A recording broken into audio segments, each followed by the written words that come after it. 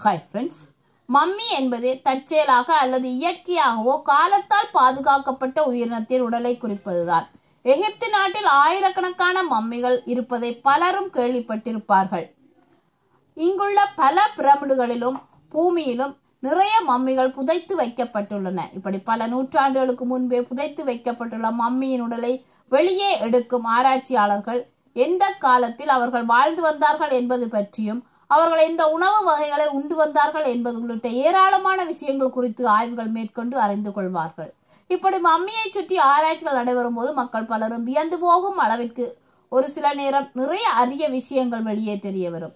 அப்படி ஒரு மம்மி குறித்து தற்போது வெளியே வந்துள்ள தகவல் பலரையும் வியப்பில் ஆழ்த்தி மிரண்டு போகச் செய்துள்ளது. சுமார் இரண்டாயிரம் ஆண்டுகள் பழமை வாய்ந்த மம்மியை போலாந்து நாட்டைச் சேர்ந்த ஆராய்ச்சி நிறுவனம் ஒன்று ஆய்வு மேற்கொண்டுள்ளது.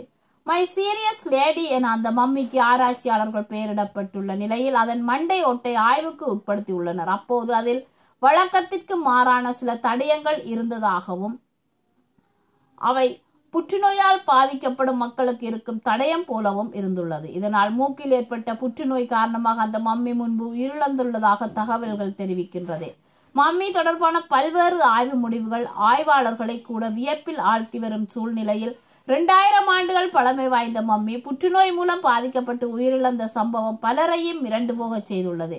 முன்னதாக இந்த ஆராய்ச்சியை தொடக்கத்தில் அது முன்பு வாழ்ந்த ஒரு ஆண் பாதிரியாரின் மம்மி என்று கூறப்பட்டது. ஆனால் பின்பு அது ஒரு பெண் மம்மி என்பதும் அவர் இறந்தபோது கர்ப்பிணியாக இருந்துள்ளதும் பின்னர் தெரிய வந்துள்ளது. உலகில் முதல் கர்ப்பிணி மம்மியும் இதுதான் என்பதும் குறிப்பிடத்தக்கது. புற்றுநோய் காரணமாக இந்த மம்மி உயிரிழந்த தகவல் ஒருபுறம் இருக்க கர்ப்பிணி பெண் என்பதும் அதிக பரபரப்பை உண்டு பண்ணியுள்ளது. மேலும் மரணத்தின் காரணம் என்ன என்பது பற்றி அறிய தொடர்ந்து ஆராய்ச்சிகள் மேற்கொண்டு வருகிறது. அதே போல புற்றுநோய் இல்லாமல் வேறு காரணங்களாக இருக்குமோ என்பதை அறியவும் மண்டையோட்டில் தடயங்கள் இருந்த பகுதி ஆராய்ச்சிக்கு உட்படுத்தப்பட்டுள்ளது. மீண்டும் ஒரு புதிய தகவலுடன் உங்களை சந்திக்கிறேன்.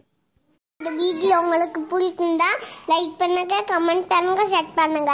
மறக்காம அந்த பெல் லைக்கில் கிளிக் பண்ணுங்க. பாய் ஃப்ரெண்ட் தேங்க்யூ